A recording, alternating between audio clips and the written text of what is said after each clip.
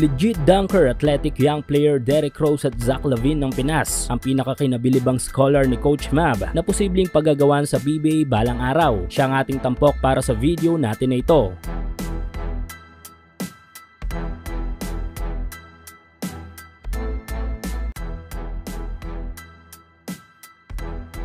Lumilipad sa ere, nagmimerienda sa taas at marami pang mga salitang po pwedeng magsalarawan sa batang malalarong ito ng Mavs Academy. Ito nga yung high flyer guard na si Poy Poy Aktub. Naitampok na natin si Poy dito sa ating channel. Mga panahong pasikat pa lang ito. Isang legit athletic young player talaga si Poy bago pa ito mapunta sa poder ni Coach Mav. Sa ilang mga local league ay maugong ang pangalan ni Poy. Hindi lang kasi basketball skills ang taglay nito sa laro kundi ang kanyang pang showtime na athleticism. Tila nagiging dunk show kasi ang game kapag si Poy na ang nasa court. Palaging inaabangan ng mala pro player slam dunk nito. Isa nga sa mga kilalang tawag dito kay Poy sa social media ay Eric Tube. Binasa nga sa hang time ni Michael Jordan nang ginawa niya ang tila paglipad sa airing slam dunk na ito. Alam naman natin na ang slam dunk ay isa sa mga acts sa game na nagbibigay ng entertainment sa crowd, lalo na sa ating mga Pinoy. Bibihira lang kasi sa ating mga Pinoy baller ang may taglay na mataas na athleticism. Usually mga American player lang talaga kasi ang may gifted kumbaga sa kakayahang ito. Pero ito nga at isa si Poy sa mga young player na meron tayo na even ang founder ng Mavs phenomenal na si Coach Mav ay hindi makakapaniwala talagang kinabibili ba ng gusto ang pambihirang taas ng talon ni Poy. Sa pagpasok ni Poy sa puder ng Mavs ay mas uunlad pa ang ilan pa sa kanyang mga skills as a basketball player. Maliban kasi sa dribbling skills ay kailangan din i-improve ni Poy ang kanyang shooting. Parang nakikita ko kay Poy si Lebron Lopez na ngayon ay nakikita naman natin na may shooting at ball handling na. Ganon din kay Poy kalaunan. Sure ako na sa ilang buwan pa nitong mamalagi sa grupo ni Coach Mav ay mas gagaling pa ito at tiyak na pagdating ng araw ay paggagawa nito ng mga PBA teams. Sa ngayon ay namnamin muna natin ang mga raw at amateur performance ni Poyak Tube sa mga Dio series ng Mavs Phenomenal.